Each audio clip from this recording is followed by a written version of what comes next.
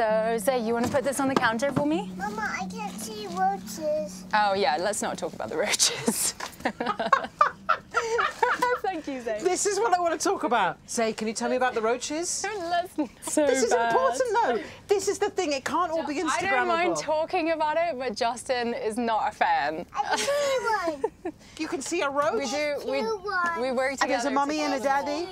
Is that where they are? Well, they might actually. And they got big teeth.